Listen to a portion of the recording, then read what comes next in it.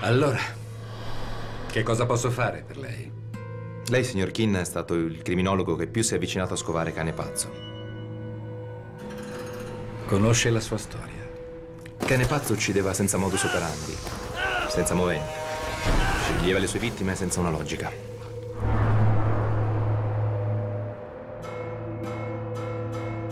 Devi trovare cane pazzo. E perché io? Nessuno meglio di te conosce quel bastardo. Io da lei voglio l'umanità che sottende al racconto.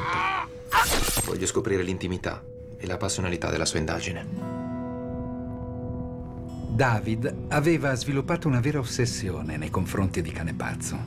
Puoi disporre di tutto quello che vuoi, senza nessun limite. Dice sempre così, ma poi di limiti ce ne sono e come. Amina, Lo sai che è vero. Cane pazzo, uccidi a caso. assolutamente no. Oh, ma io questo lo conosco. Si chiamava Michele Pisaro, detto il dottore. E questo vendeva l'armi a tutte le bande della città. Perché non ne hai mai parlato? Di questo David non c'è traccia nelle sue deposizioni. Non ci sono innocenti, ma solo colpevoli, a varie gradazioni. Fare un figlio rende già colpevoli, perché significa mettergli la morte alle costole. E prima o poi se lo piglierà. È pazzo. Assolutamente no. Se fosse pazzo l'avremmo già preso. C'è dell'altro, io so cos'è. I rilievi della scientifica. E non è tutto. Sei stanco? Un po' di pazienza lo prenderai. Non parli di mio padre. E invece sì, perché la faccenda di cane pazzo riguarda anche lui.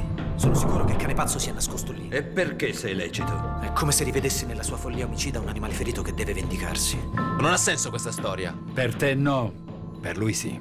Cane pazzo ha già preso le nostre vite. Sembra quasi che lo giustifichi adesso. Ma poi sei sicuro che lui sta qua dentro? E allora andiamo a guadagnare la gloria.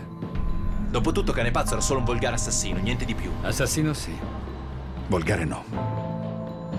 Lui uccideva per amore.